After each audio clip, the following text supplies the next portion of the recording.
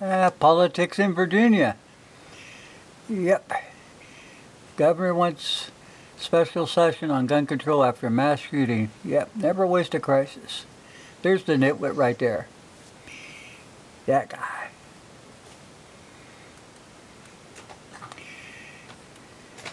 He's shaking the hands of the, of the Virginia Beach mayor.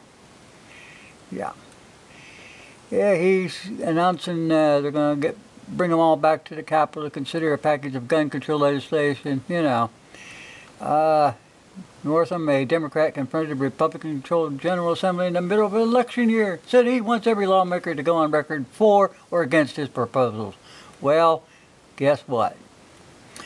It includes a ban on silencers. Yeah, that'll help. High-capacity magazines as well as broadening the ability of local government to limit guns in city buildings, so on and so forth. That'll stop them.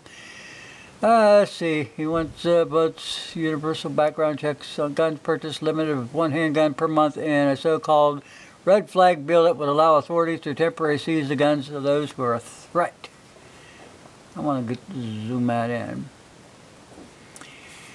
And uh, he wants votes, not laws. Oh, he's asking for votes and laws, not thoughts and prayers.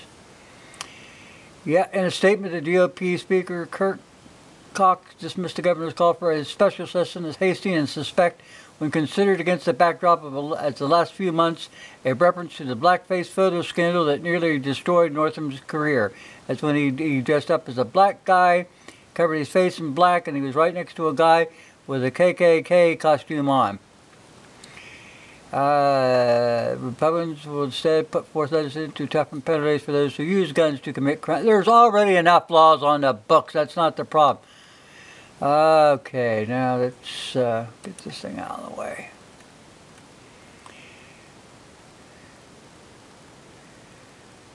Got a standing ovation from gun control advocates, state workers, and elected officials as he said the massacre in Virginia Beach demands that lawmakers put saving lives ahead of party loyalty. Okay, okay.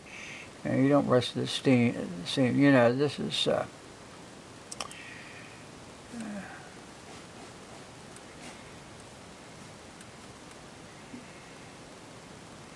Your Friday shooting has been his first major test since the scandal over a racist photo of his medical year school school book that he drove him from office four months ago.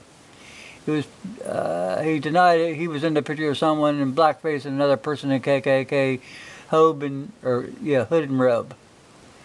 The Top Gun right advocates, President of Virginia Citizens Defense League announced denounced the special session as a political theater and called it pure baloney.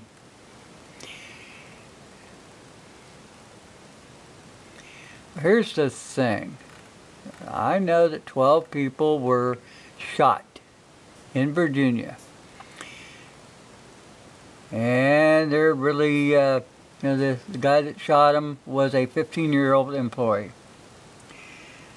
What we don't know is why he did this. This guy might have cleaned up uh, Virginia Beach. He might have rid the, the, the, the area of corruption.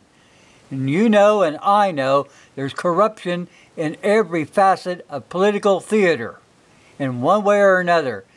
Somebody getting uh, uh, paid off for something, corrupt things that they do, illegal things that they do, and they, they're in a position to hide all this. Maybe your sewer work wasn't up to par, but they passed it anyway. Your water treatment plants, not up to par, they passed it anyway. There's a lot of underhanded stuff going on, corruption and crime, uh, payoffs. This fella that shot these 12 people, he might have done this, this, this country and this city and this area a good deal of good by wiping those people out. Maybe he even sent something to the newspaper. But do you think that the newspaper would ever print such stuff in it to implicate these people? No, they would not. They would not. You know, uh, it's just the way it works, people, and you know it, and I know it, and that guy probably got tired of it. That's the only thing I can come up with.